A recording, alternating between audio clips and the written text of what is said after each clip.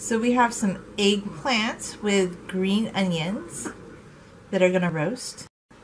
Then we have some broccoli that's going to roast.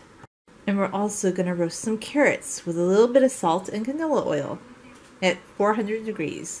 So here are the roasted carrots and a little bit of broccoli, roasted broccoli, and roasted eggplant with some green onions. Can't wait to try some.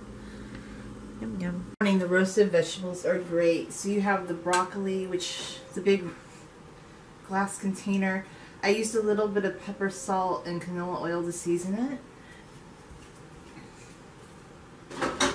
And then the carrots, oh my gosh, the carrots were really good because in their own juices they kind of bake down.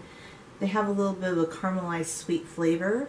And if you want like a something different besides potatoes to roast, carrots. Very good.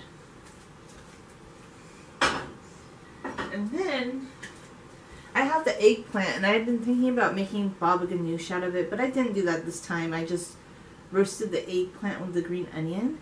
And this was good too. I'm mixing all three together and you just kind of eat it. It's a nice vegetable medley and you just get more energy when you eat your veggies. And you actually get more um, nutrients from broccoli when you cook it than when you eat it raw. So I've always loved cooked broccoli really, but I think I just want to go back to roasting more vegetables and yeah, it's nice. Like it's fun to bake a pie, but this is healthier and this makes me feel better. Anyway, thanks for watching.